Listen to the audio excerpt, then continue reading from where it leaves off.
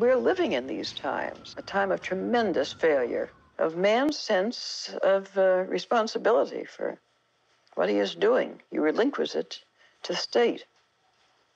He's not obedient to his own the promptings of conscience.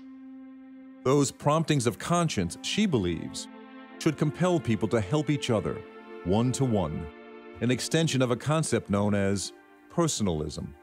This idea that every Christian has a personal responsibility to get involved in taking care of our brothers and sisters. When someone comes to us and asks for help, we can't say, well, the state office is down the street, or here I can give you these coupons, but I can send you to the right office. So that's the wrong response. The response we're called on is that we ourselves have to do something for that person. The profound theological truth she saw was that we should do something for the other because that changes us. It doesn't just change the other person, we are changed. For Dorothy Day, the notion of personal responsibility is directly tied to her understanding of the Catholic faith, a faith she converted to in her 20s.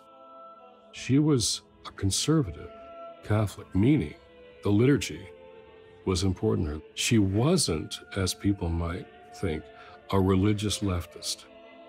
So Dorothy, on theological matters, ecclesial matters, biblical matters, was actually quite conservative. And she was radical in her social, economic, political views because of her conservative faith.